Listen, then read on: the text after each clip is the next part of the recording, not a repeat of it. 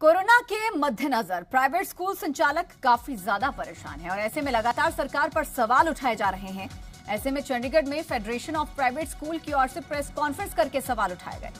Federation of private school के president ने कहा कि एक साल से सभी सरकारी दफ्तर, दुकानें खुली हैं, लेकिन स्कूल लॉकडाउन की स्थिति में है।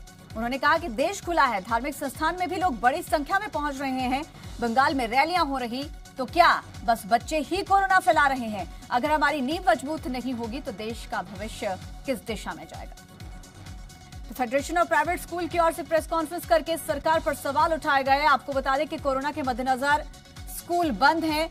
और अगर बात करें पंजाब की तो पंजाब सरकार की ओर से आदेश जारी किया गया तीस अप्रैल तक और स्कूल बंद रखने का आदेश दिया गया और ऐसे में प्राइवेट स्कूल, संस्थापक और प्राइवेट स्कूल के प्रशासनिक कर्मचारी, अधिकारी तमाम लोग परेशान नज़र आ रहे हैं। फेडरेशन ऑफ़ प्राइवेट स्कूल ने इसी कड़ी में प्रेस कॉन्फ्रेंस की और कहा कि एक तरफ़ धार्मिक संस्थान भी खुले हुए हैं, बीते एक साल से सरकारी दफ्तर भी खुले हुए हैं, दुकानें भी खुली हुई हैं तो आखिर स्कूलों को बंद करने का क्या मतलब है? ये सवाल सरकार से फेडरेशन ऑफ़ प्राइवेट स्कूल की ओर से किए गए एक साल से ज़्यादा पीरियड से स्कूल बंदी के दौर से गुजर रहे हैं।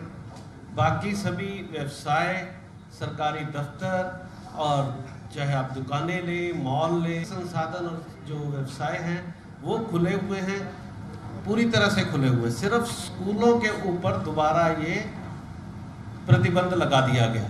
तो ये नन्हे मुन्ने बच्चों की शिक्षा ही जो है क्या ए, इसकी वजह से ही कोरोना क्या बच्चे कोरोना फैलाते हैं स्कूल बंद कर दिए जाए?